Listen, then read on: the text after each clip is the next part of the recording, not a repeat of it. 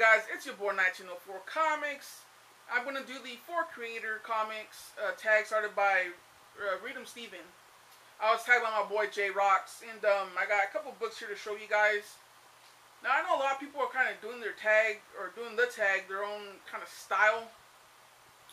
So I'm gonna do it the way I took it, and that is, you know, to show the books or the creators that got you into comics. Now the books I'm about to show you. Sorry if you hear that weird gremlin noise. That's Lola in the background. She's wrestling a pillow or I don't know. But um so yeah, I'm gonna show you the books. Lola, would you shut up? Thank you. My bad. But anyways, I'm gonna show you the books that got me into comics and there's nothing too special about them. When I show you these books, you're gonna be like, that's what got you into comics. You know, it's not like you know, Frank Miller, Dark Knight, nothing like that. It's just some simple issues that got me into comics. And what I mean by got me into comics is it got me into my store on a regular basis. Now I went to Comic Con, it was July, and my intent was to get comics that day. This was two years ago. And um, I didn't get comics. A lady on the overhead speaker, she's like, it's time to go, we're closing down. So I left. In August, I went to my comic book store and picked up my first comic since I was a kid. And I'll show you that in a minute. But from August to like October, I was picking up comics, but stuff I was used to.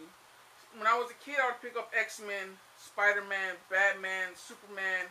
You know, I'd pick up all these titles as a kid. So, you know, when I started collecting again, that's what I'd pick up. But it didn't get me into comics. It didn't get me into my store. Nothing like that. It was just stuff I was familiar with. Characters I was comfortable with. So I would just buy them just because I wanted to get my feet wet, you know, try out comics. This is something I really wanted to try. And um, obviously I did. But um, a cool little story is, when I was a kid, I had a box, shoe box full of comics. And um, my friend had a game I wanted to borrow. I'm like, I'll let you borrow my comics if you me borrow your game. He's like, all right, dude, let's do it. I was maybe third grade, tops. And um, we just never traded each other's stuff back and he kept my comics. I kept his game. I can't remember the game, but yeah, that's the last time I had my comic books was when I handed him those comics.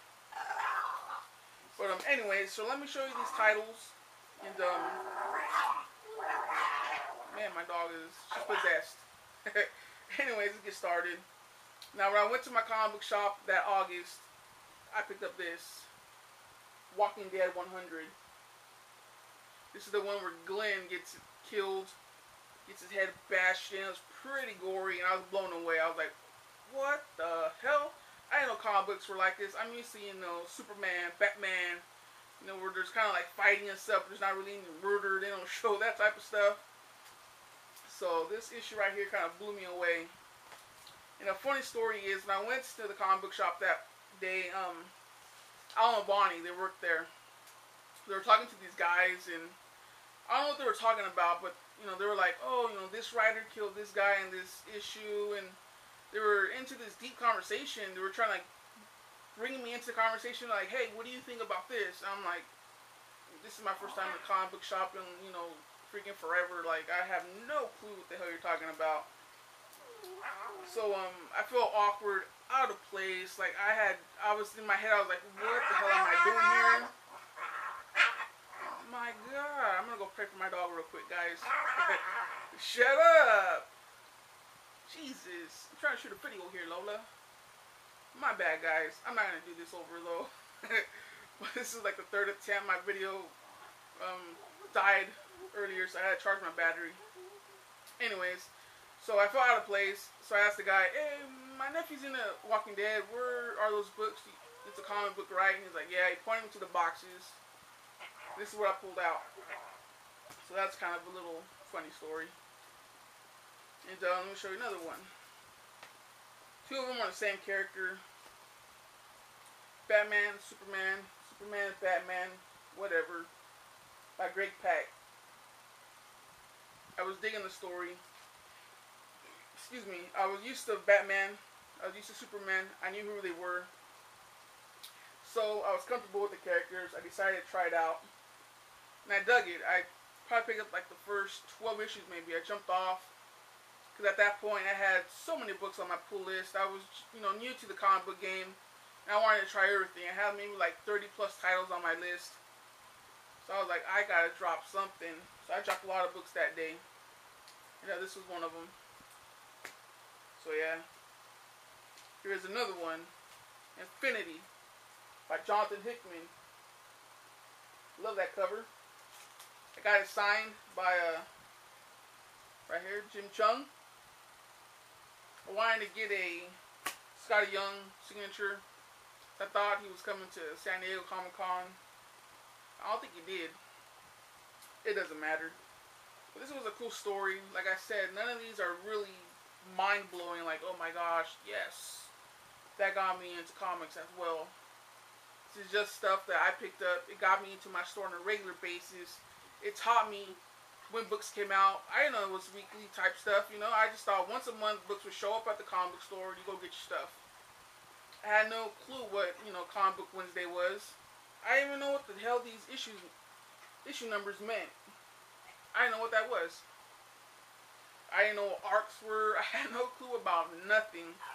And you know these right here, these issues I'm showing you guys are you know what taught me when books came out, what the numbers meant, you know when to go, when to go, and so yeah. So here's a Batman, Scott Snyder. For me, at the time, it was great. Towards the end, after a few months, I was like, please, you know, you're in. This is a, it's enough, please. But um, you know, stuck stuck with it. Like I said, you know, there's two characters that were pretty much the same. Batman. Those are the two two Batmans. And last but not least is Sheltered. This is by Ed Brisson, I believe. And um, I never seen this on anyone's uh, video. I think one time I seen it on DaCosta's video, one of his hauls. But um, it's such a great story. Right here is Lucas, and he's a nut. All right, their families, we're all getting prepared, the preppers for end of the world type of scenario, and um, the kids go nuts. They end up, they end up like taking over the little camp, and it was just a crazy book. It's coming to an end, so I'm kind of bummed. My heart hurts a little, but um, anyways, so um, if you haven't tried it, I, I highly recommend it. You guys should try it out. It's only maybe eight, nine bucks for the first trade. And it's not that long. I think it's like on issue maybe 13, 14 right now. So it's coming to an end. And yeah, guys, those are the the issues that got me in the comics. Taught me what the numbers were. Taught me what new comic book day was. Taught me, you know, monthly books, bi-monthly, weekly books. And um so yeah, that's those were the books that got me into it. That started it all for me. And um, this one right here though, when I first read, I was just blown away. Like I said, like I didn't know comics were that freaking gory. Like oh my god, that is pretty awesome. So that's all I got for you guys. Now I gotta tag three people. Um, let me just randomly choose. Uh, let me go to my YouTube friends real quick. I'm gonna choose Vincru 12,000. I don't know if you've been chosen yet. If you haven't, make a video. If you have, someone else make one. I'll choose uh, the homies at the Comic Cave. I want to hear you guys as creators. Like your videos. You guys got some some funny characters over there. So make a video. Yeah, I'm going to choose Michael Gantner. Alright, guys. That's it. Peace out, people. Check you guys out pretty damn soon. Laters.